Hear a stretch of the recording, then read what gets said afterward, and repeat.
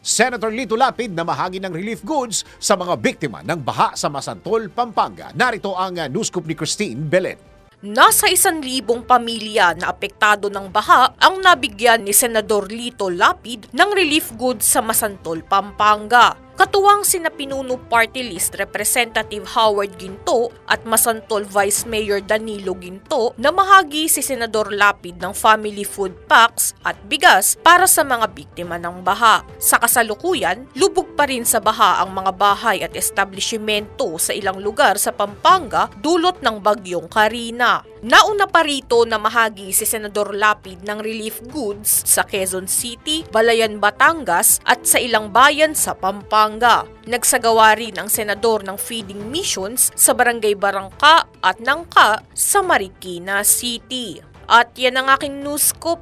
Ako, si Christine Belen, nagbabalita ng tama, naglilingkod ng tama.